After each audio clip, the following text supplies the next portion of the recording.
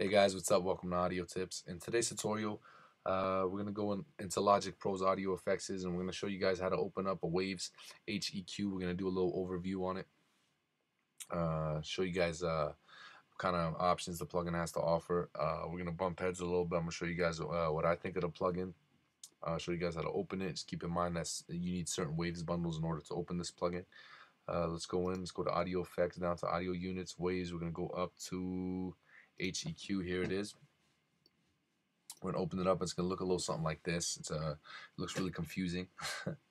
it's like a EQ EQ that has a piano uh, a piano keyboard at the bottom. Um, basically, it's got your uh, frequency spectrum down here. You got your uh, got your uh, oh well uh, your gains and your and your deduct deductions. You got your output, your main output here your main input right here.